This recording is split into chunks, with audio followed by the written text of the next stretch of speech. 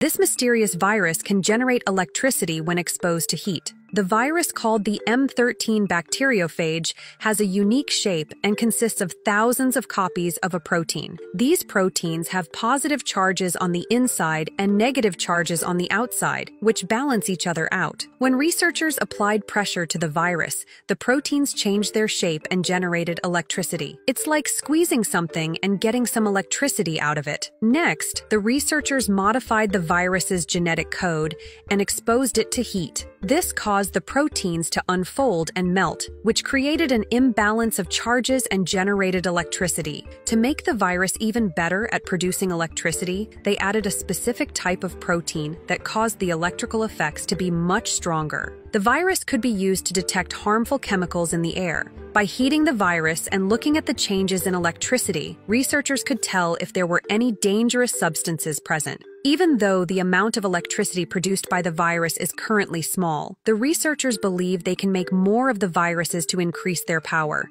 Since viruses can multiply very fast, scientists can potentially make a lot of them to create more electricity. Imagine tiny medical devices, such as brain implants or heart pacemakers, that could someday be powered by electricity generated by harmless viruses.